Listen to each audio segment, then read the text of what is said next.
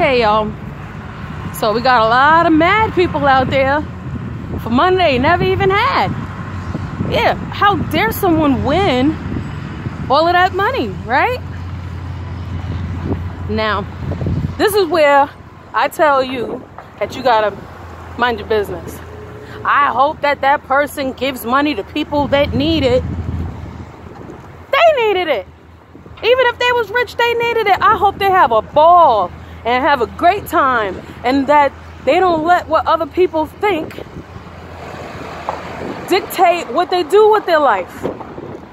And you see it on a grand scale. Like mind your own expansion. How I look with you with your hands in my pockets. That's not fair. I mean, even if the person started out with a lot of money, you see in the comments of all of these rich people, they treat themselves they buy themselves a car, give their man some money or stacks and stacks and stacks of money that you probably have never seen in your life. And not remember or understand that we all have the same 24 hours. We're all given talents and gifts. And in this day and age of social media, a star is born every single day. And you are a fool if you don't maximize that opportunity when you get it. You got to make your own opportunities. There's people that are upset that never even played the game. Does that even make sense? Understand that when you come to a point where you're focused on making your own life better, you sit there, if somebody handed you a million dollars, even though it's money that you need, ultimately kind of distracts you from what it is that you want to do for yourself. Now, I'm not saying that if somebody handed me a million dollars that I wouldn't know what to do with it. But I'm a different animal.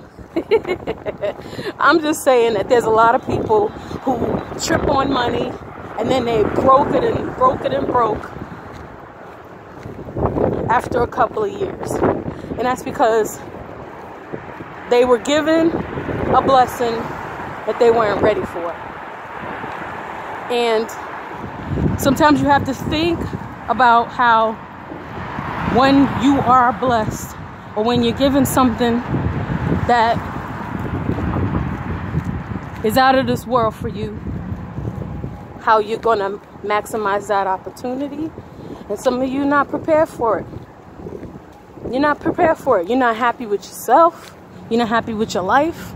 So if something happens and you're blessed, that magnifying glass of unhappiness is going to be bigger and bigger and bigger and you're going to do a whole bunch of other things outside of yourself that make you feel good because you ain't making yourself feel good. So mind your own expansion. Let these people spend their money. Let these stars do whatever they want to do with their money.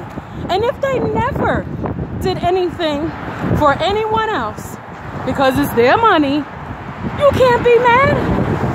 Why be mad? Bless yourself. You are your lottery ticket. All right? Take care, y'all.